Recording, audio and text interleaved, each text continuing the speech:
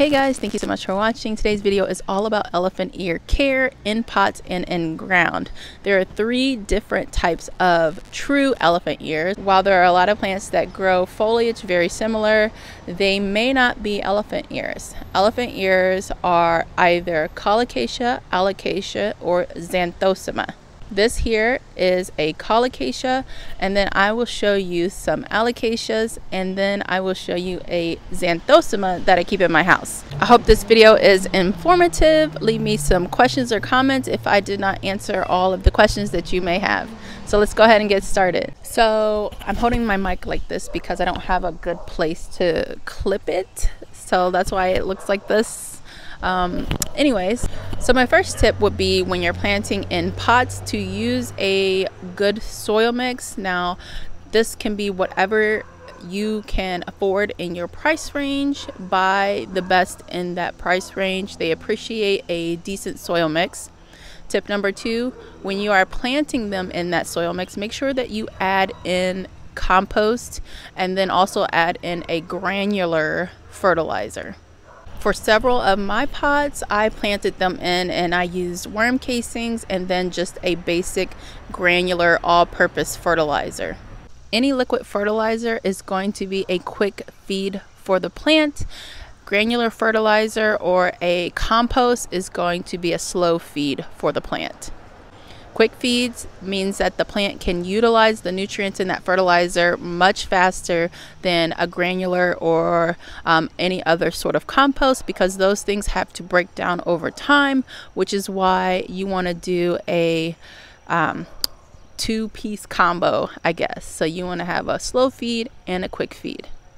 If you're planting your elephant ears in ground, you want to dig a hole that is twice as wide and deep as the plant, and then you want to add a compost or a granular fertilizer in at the bottom of that hole, and then plant your plant in that hole. If you choose to fertilize um, a liquid feed throughout the season, you are definitely welcome to do that. That will also help your plant grow big. I don't do that for my in-ground plants just because it's just one extra thing to do.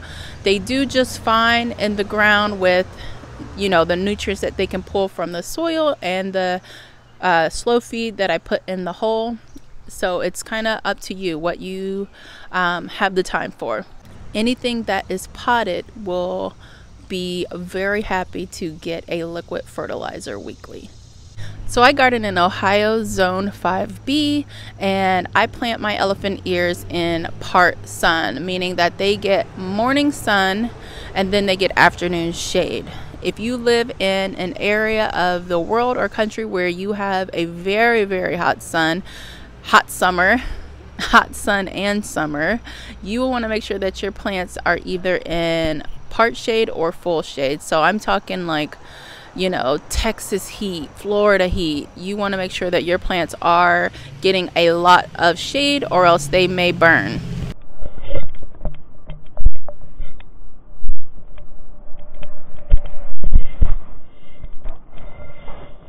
So one of the common issues that I have with my elephant ears are spider mites. Um, spider mites are just nasty little creatures that look like tiny little spiders and they will quickly take over if you are not proactive with your treatment. So every week I spray my elephant ears down with Captain Jack's Dead Bug.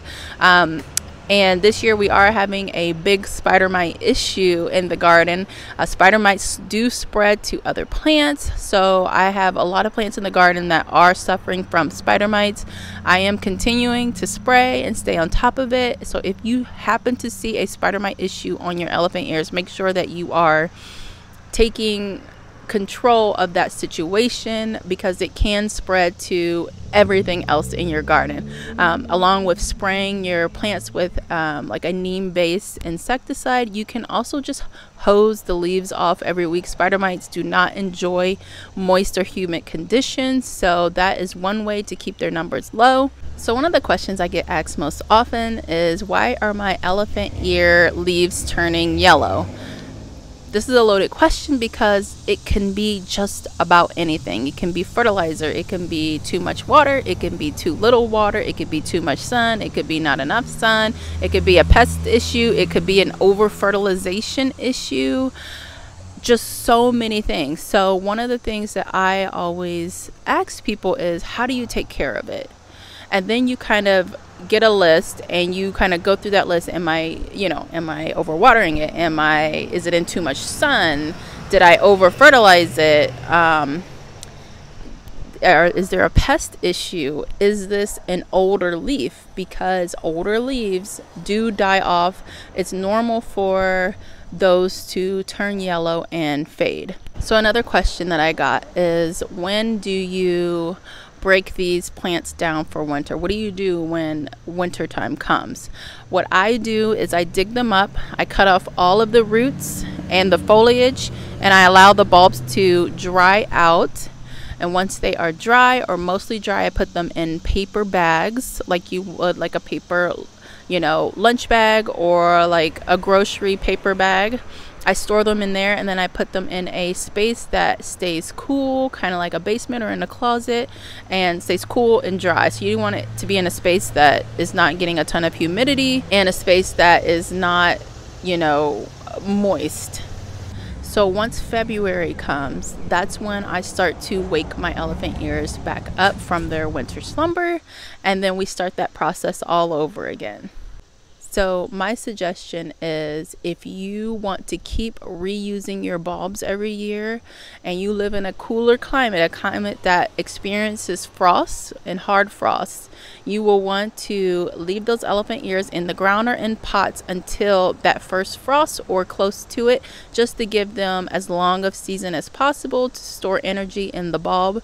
Once you have that first frost or you get close to it, go ahead and cut that plant back. If you want to store your plant in the pot, you definitely can do that. Make sure that that soil dries out all the way before you cut off the foliage and store that pot. So you guys already know how amazing elephant ears are and having them in the garden. Once you get your first one, you will always grow them in your garden year after year. So thank you guys so much for watching. If there were questions that I did not answer, feel free to leave them below. I am so happy to help you guys with this. Many of you have reached out on Instagram or in the comments section and I really appreciate that. I am happy to help you. So if you have a question, ask it. All right, guys, thank you so much for watching. Have a good day. Bye.